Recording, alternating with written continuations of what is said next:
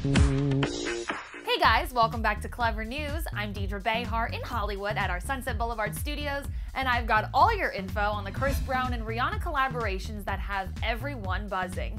Like Clevver News first reported exclusively, Chris attended Rihanna's 24th birthday party in Beverly Hills last week, which only further fueled the rumors that it would be him singing on Riri's remixed full length version of Birthday Cake.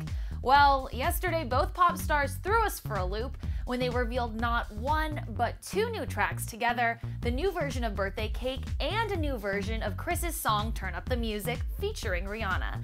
Both tracks are available to listen to, just click the links in the info section below and let me know what you guys think. Was it too soon for the former lovers to duet again, or should we just let the past be the past and let them live as they wish? Take a listen to both tracks and tell me your thoughts in the comments section. Remember to keep it locked here on Clevver News for all the best in entertainment and subscribe to our channel if you haven't already. I'm Deidre Behar in Hollywood. Thanks for watching.